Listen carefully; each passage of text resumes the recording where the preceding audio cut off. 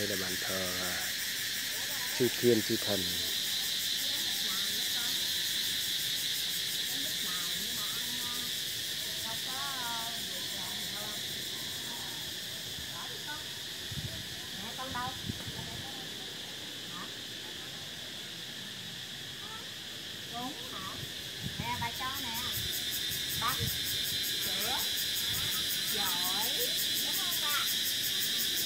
Giỏi mai vô chùa nữa nha dạ dạ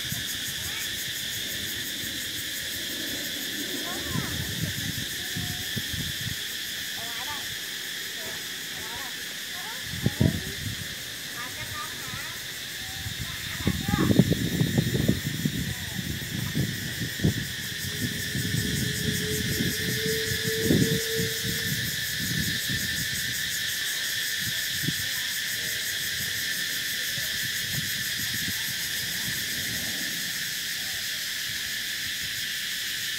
chưa? Lúc này là 6 giờ tối.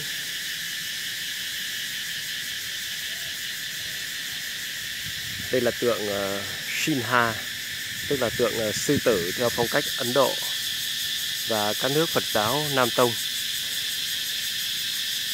Canh ở các cửa chùa, cửa cung điện.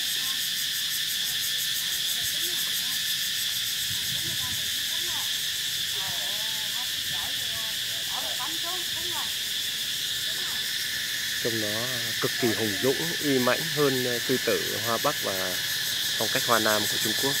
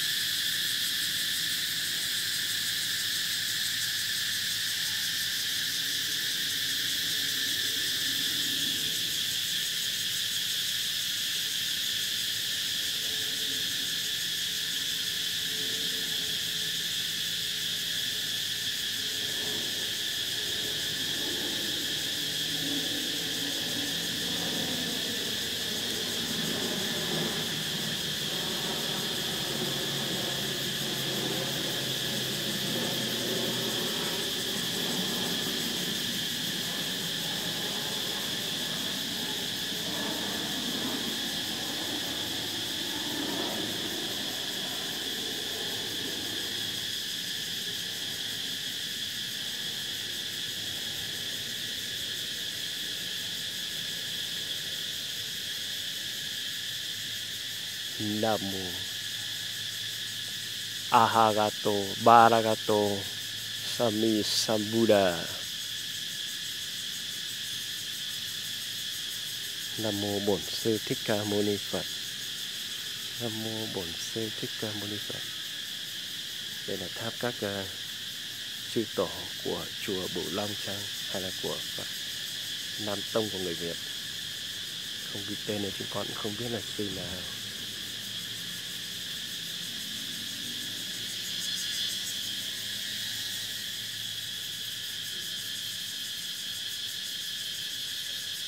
Chắc đây là tượng các à, uh, chư tổ của chùa Bửu Long cũng như là của phái Nam Tông của người Việt chăng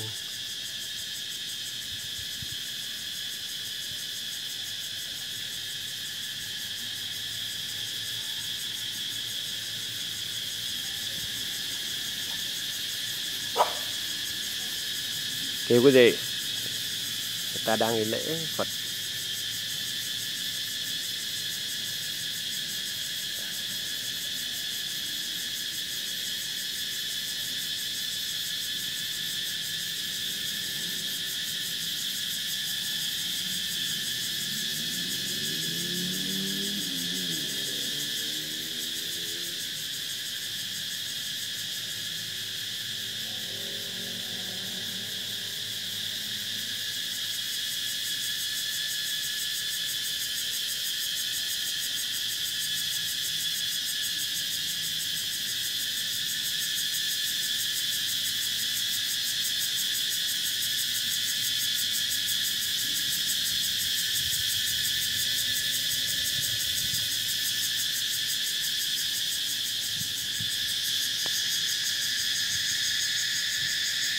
Bàn thờ chư thiên, chư thần uh, theo uh, truyền thống của văn hóa Phật giáo uh, Nam Tông như là uh, Sri Lanka, nhất là Myanmar, Thái Lan, Lào và Campuchia.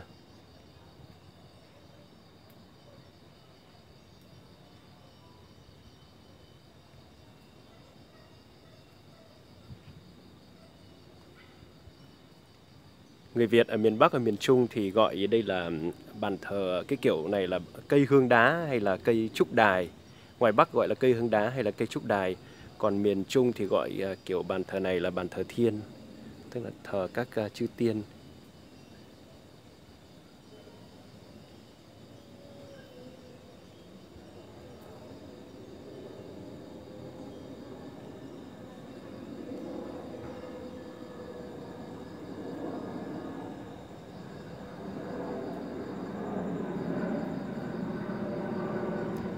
Cổng vào uh, khu uh, bảo tháp thờ Phật và các chư tổ này là hai con sư tử theo uh, văn hóa Phật giáo uh, Nam Nam Tông tức là hai con Shinha rất lớn. Là chừng 7 giờ tối. Sau khi khách tham quan Phật tử đã về hết hoặc là về gần hết bởi vì vẫn còn một người đang quay phim ở đây. Và còn một hai khách uh, vừa lên uh, chỗ bảo tháp lễ Phật thì tu viện uh, chùa Bửu Long, chùa Bửu Long đã được trả lại uh, sự tĩnh lặng vốn có. Và chúng ta có thể nghe thấy tiếng chuông gió ngân vang đinh đong đinh đong.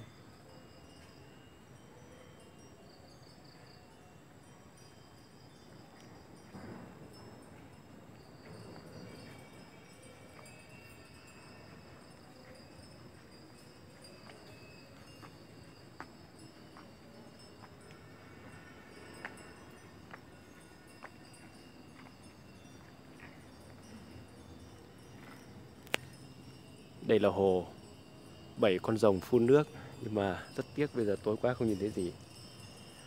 Và bảo tháp kia thì được mở cửa từ sáng đến 5 giờ chiều. Đứng trên đỉnh tháp ta sẽ nhìn thấy toàn cảnh xung quanh và đặc biệt là trước mặt là sông Đồng Lai mênh mông, sóng vỗ